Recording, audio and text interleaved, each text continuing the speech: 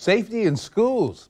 A new proposal in one school district to help keep doors closed during a lockdown situation. This is a piece of a fire hose. It's cut to fit over the arm of a door. Here's what it looks like on the door. Columbia County is rolling this out. News4JAX reporter Zach Lashway went to Lake City today to see how they work and when they'll be in all classrooms.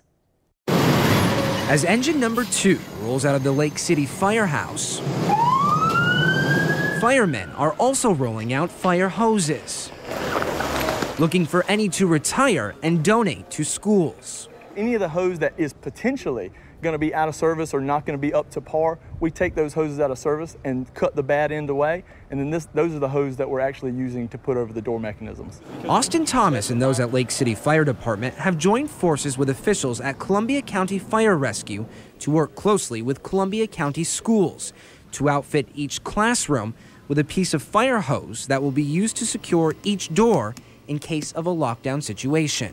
What it does is it secures the door so that the door can't cannot be opened. Wayinger and Thomas say the device should be located next to the door, sort of like in sight, on mind. All the teacher will have to do from there is slide it over the mechanism that locks the door and then go back to the kids. So it'll give a little bit.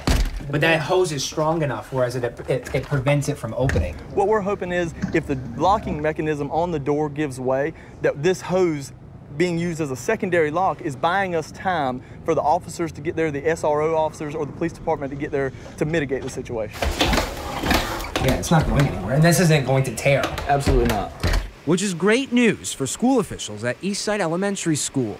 I think it's a, a great idea. Um, it's cost effective. It does the job and it helps keep our kids safe here at the school. Eastside Elementary hopes to get these in the very near future. The principal tells me these are game changers. They're an extra level of security that will keep their more than 600 students safe.